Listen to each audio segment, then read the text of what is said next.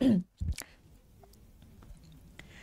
everyone welcome to agriculture under 24/7 I am Pratibha Sharma और मेरा नाम है आकाश वाजपेयी। और हम मिस्टर आकाश वाजपेयी के साथ एक गेम खेलने वाले हैं आज। तो सर क्या आप रेडी हैं? बिल्कुल तैयार है और जीतने वाले भी हैं।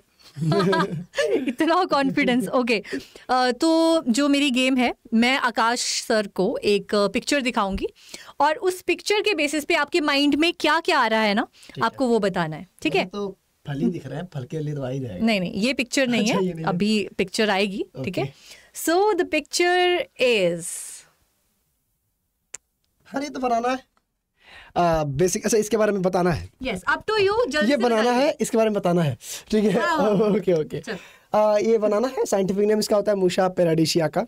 यू नो ठीक है? इसके अंदर आप देख रहे होगे कि ये जो हल्के हल्के फाइबर होते हैं ठीक है? इन्हें बोलते हैं फ्लोएम फाइबर जैसे जैसे बनाना राइप हो जाएगा ये फ्लोएम फाइबर धीरे धीरे कम हो, जा, हो जाते हैं। कच्चे बनाना ज़्यादा होते हैं। इनका काम क्या होता है? न्यूट्रिशन को अंदर के जो फ्लैश होता है वहाँ तक अच्छे तरीके से पहुँचाना। बाकी अगर बात करेंगे इसका फ्रूट का टाइप क्या होता है तो बेरी मल्टीपल सीड होते हैं जो हमारा ओल्ड टाइप ऑफ़ बनाना होता है। ठीक है तो हम लोग बोल सकते हैं कि फ्रूट का टाइप क्या है? बेरी होता है। इडिबल पोर्शन की अगर बात करेंगे मैम तो इसका इडिबल पोर्सन क्या है? जो इपीकार्प है हालाँकि बॉटनी के दृष्टिकोण से ऊपर वाले पार्ट को भी इपीकार्प बोल देते हैं तो मीजो और इंडोकार्प जो है इसका इडिबल पोर्सन है। प्रजातियाँ अगर देखेंगे वैसे कितने फेट बताने हैं?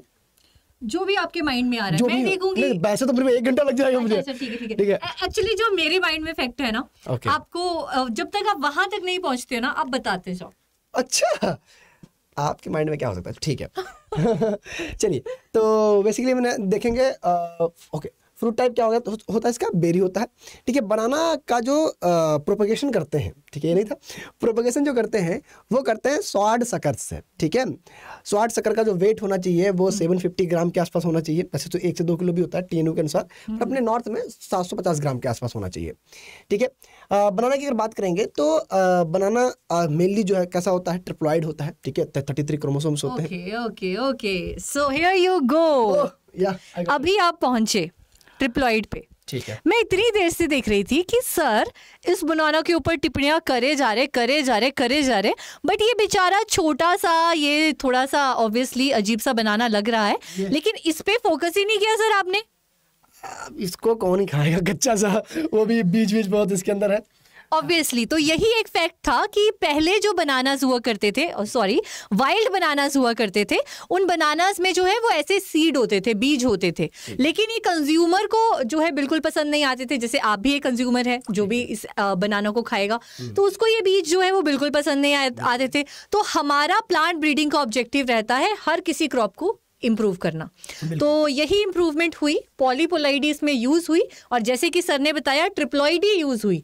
तो इसी ट्रिप्लॉइडी से आपका सीडलेस बनाना तैयार हुआ। अब आप जितने भी बनानास खाते हो उसमें कोई सीड्स आपके पास नहीं आपको मिलते हैं है ना? तो दैट इज़ ट्रिप्लॉइडी ओके इसके अंदर क्रोमोसोम्स कितने होते हैं? ट्रिप्लॉइड में थर्टी थ्री होते हैं। अ, मैं आपको ये फैक्ट भी बता देती हूँ। आपने देखा होगा कि बहुत डिफरेंट वेरिएबल क्रोमोसोम नंबर होते हैं। हाँ जी, हाँ। ट्वेंटी टू है ना? 33, थर्टी थ्री ओके सो इस बात पे मैं आपसे पूछना चाहूँगी कि अगर मैं आपसे पूछूँ कि जो बेसिक क्रोमोजोम नंबर होता है बनाना का, वो कितना होता है? वो ग्यारह होता है इलेवन होता है? हाँ वो होता है ग्यारह। यानी अगर हम एक्स की वैल्यू देखेंगे तो वो ग्यारह है है ना? की वैल्यू ओके वो वाला एक्स नहीं सर।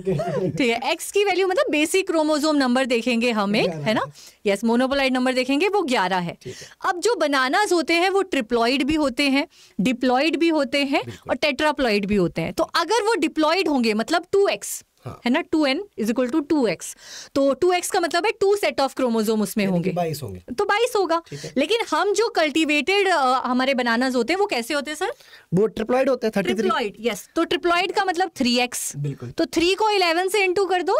तो थर्टी थ्री हो गया। हाँ तो इसीलिए ये थर्टी थ्री आता है क्योंकि most of the cultivated bananas are triploid right और इसके अलावा 44 तो फिर आपका टेट्राप्लॉइड हो गया और ऐसे ऐसे वेरिएबल क्रोमोसोम नंबर बनानास के आते रहते हैं। अच्छा मेरे दिमाग में एक क्वेश्चन आ रहा है। बनानास को ना कुछ अलग अलग नामों से भी जाना जाता है तो वो भी बता देते हैं। बिल्कुल अ, इसे हम लोग एडम्स फिग बोल देते हैं। एक और नाम है इसका कल्पात्रु। एक कल्प वृक्ष होता है एक कल्पात्रु होता है। तो बनाना को कल्पात्रु बोल देते हैं। इसके अलावा इसे ट्री ऑफ़ विजडम बोल देते हैं। ठीक है बुद्धिमत्ता का फल है ये। है ना? एडम्स फिग बोल देते हैं। तो ये सब बनाना के अन्य नाम भी हैं। ओके जी। तो इसी बात पे मैं अ, कहना चाहूँगी कि सुबह डेली आकाश सर को हम बनाना खाते हुए स्पॉट करते हैं। अब समझ में आया बुद्धिमता यहाँ से आ रही है। हाँ लेकिन अ, मुझे किसी ने बताया था कि इससे ताकत बढ़ती है। बॉडी बनती है तो मेरी तो अभी तक बन नहीं रही है। बन जाएगी सर स्लो एंड स्टडी। है ना? और अच्छा अच्छा एक दो बच्चों से पूछ लेते हैं। हाँ। अच्छा ठीक है। एक एफओ में क्वेश्चन आया था कि बनाना में डीनेल्विंग करते हैं ठीक है? तो डीनेल्विंग क्या है? मेल वर्ड को हटाना। अब जरा मुझे कमेंट में ये बताइएगा कि ये एग्ज़ाम में कई बार पूछा गया है कि बनाना की पनामा रेसिस्टेंट वैरायटी कौन सी है? ठीक है अगर आप रात को आठ वाली आगाज़ क्लास देख रहे हैं तो आपको पता होना चाहिए। एक और बात इंपॉर्टेंट है। मैम की क्लास होती है उड़ान। हम्म। छः बजे होती है वो उसको भी डेली ज्वाइन किया करो। आपको ब्रीडिंग के कॉन्सेप्ट वहाँ क्लियर हो जाएँगे। और हॉर्टिकल्चर या जनरल एग्रीकल्चर के लिए आपको रात को आठ बजे वाली क्लास आगाज़ ज्वाइन करनी है। जिससे मैं अपना एक एक्सपीरियंस शेयर करना चाहती हूँ। जैसे मैं अपनी उड़ान में क्वेश्चन लेकर गई थी हाँ। कि जो ब्रेड वीट होता है उसका पोलॉइडी लेवल क्या है? हाँ। तो आप बताइए सर क्या है? ब्रेड व्हीट वीट का हेक्सापोलाइड अच्छा, होता है ओके, वो वाला। का हाँ, hexaploid, का। हेक्सापोलाइड हाँ, होता है मतलब सबको पता है कि ट्रिटिकम एस्टाइवम इज़ अ हेक्सापोलाइड हैं ना? लेकिन एक बार एग्ज़ाम में पूछ लिया गया था कि वो ऑटो हेक्सापोलाइड है या एलो हेक्सापोलाइड है कैसा हेक्सापोलाइड है? हम्म। तो वहाँ पर वो बच्चों को क्लियर नहीं था। तो जिसने भी उड़ान की क्लास देखी है उसको अब क्लियर है कि वो एलो है या ऑटो है। आपको पता है तो आप वो भी लिख कर बता सकते हैं। तो मुझे पता चल जाएगा कि उड़ान क्लास में कौन कौन आता है है ना?